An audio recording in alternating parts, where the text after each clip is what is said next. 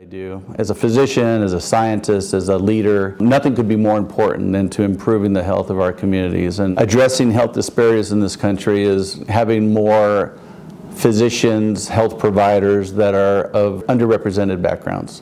So that means for the Latino population to have more Latino doctors, more Latino nurses, pharmacists, and, and community health workers.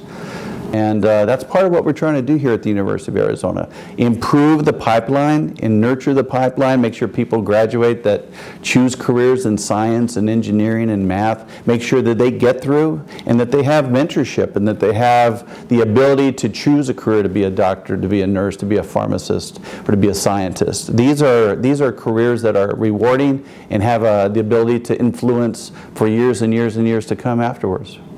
We want you and your family to be part of the University of Arizona family and the future of healthcare.